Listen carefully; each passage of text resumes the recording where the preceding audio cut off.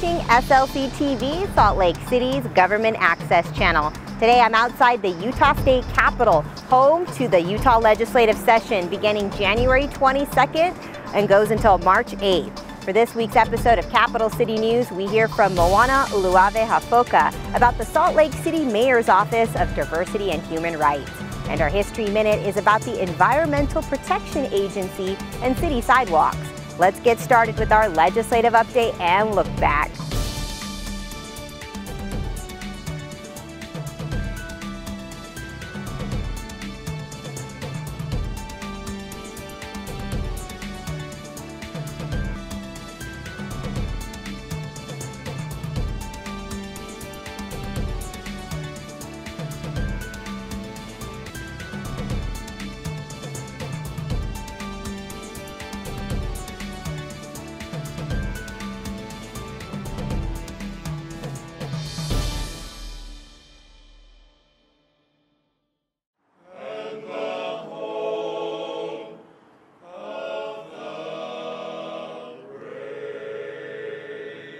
Will support, obey, and defend the Constitution of the United States the Constitution of the United States and the Constitution of the State of Utah And that I will discharge the duties and that I will discharge the duties of my office with fidelity.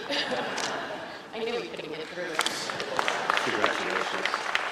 They are totally committed to the neighbors and residents they serve. They are deliberate, thoughtful, and passionate. And they are kind and caring, and they have great empathy.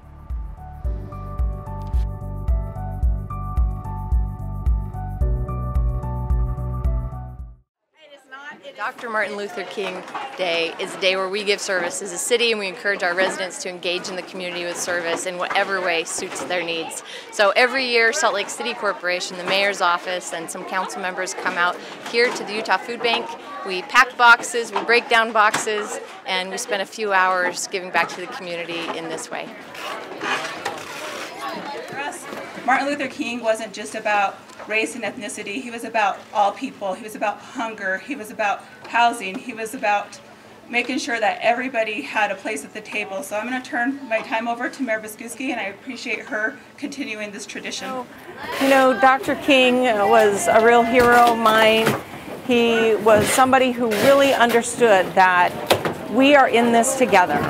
When you come together to do good for anyone else, then our differences and the boundaries that may normally exist dissolve. And as we build a city for everyone, the work we do every day matters. We came in to do some real shifts and to create change. And those shifts are all on the heels of Dr. King's words, where we're talking about housing and helping people experience homelessness, and we're working on job creation for everyone. All those things matter, and this is a day to celebrate from somebody who has inspired all of us.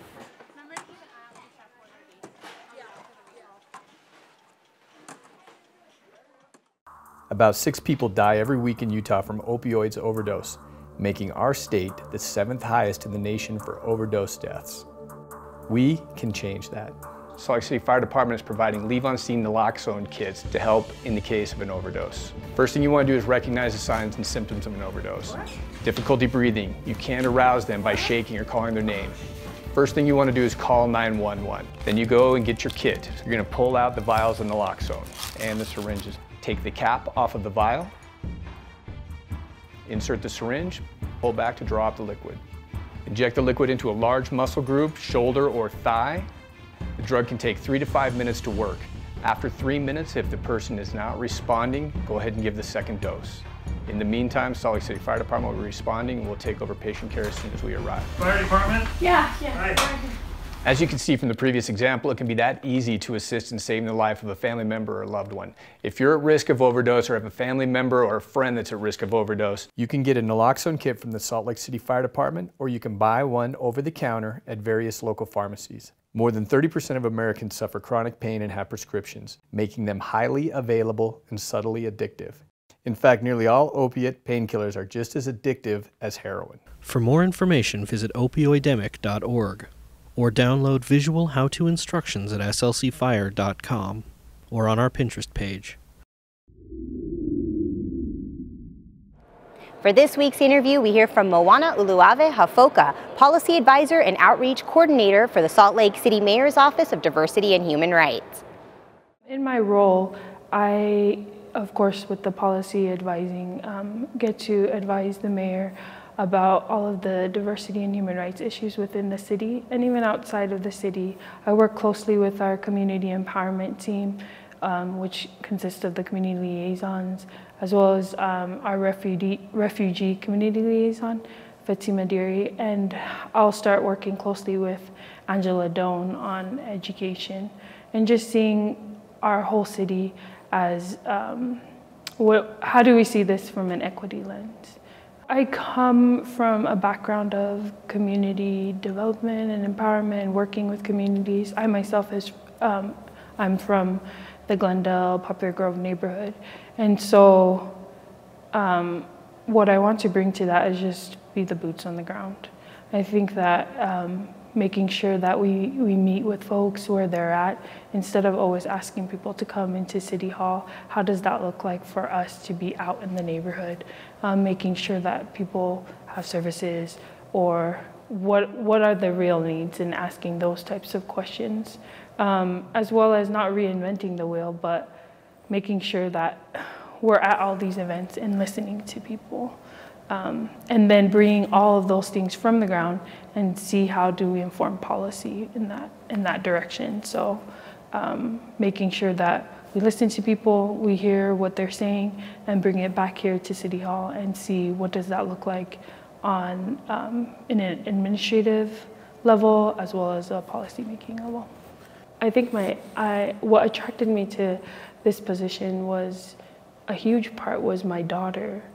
So I was born in the neighborhood, um, and then when I started my family, I came back and and and started my family again, just right off of the street that I was born on, and I I often am very um, thankful for those that have come before me, but then for the first time in my life, it wasn't just those the kids that I grew up with and their children and figuring out how to help their future. Now this was actually my kid and seeing what types of schools she was going to attend, how she was going to grow up in Salt Lake City. And I, I think that the biggest part when uh, this job opening happened and I was grappling with whether to apply or not, or it was okay to, to stay safe and be in the position that I was in was that I looked at my kid and thought, what kind of Salt Lake City do I want for a Tongan girl growing up in Glendale? And I wanted to be a part of that discussion, not just on a grass, grassroots level, but on a policy level. How can I help craft a better world for her? And now it's time for our History Minute.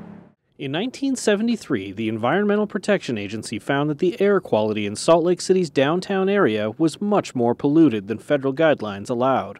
The cause of this pollution was largely due to the high rate of vehicles pumping emissions through the wide streets of Salt Lake. City leaders scrambled to come up with a solution because the EPA would place an embargo on construction of all future parking lots or facilities in the city until they had a plan. Eventually, city leaders decided that narrowing the streets downtown would be the best option to reduce traffic.